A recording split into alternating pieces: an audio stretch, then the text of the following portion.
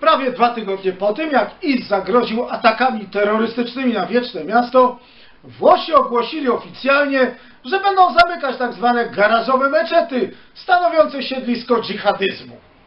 We włoskim Bucie żyje z półtora miliona muzułmanów, ale po masakrze paryskiej zaledwie kilkuset pojawiło się na demonstracji, mającej wykazać, że garażowy islam jest religią miłości i pokoju.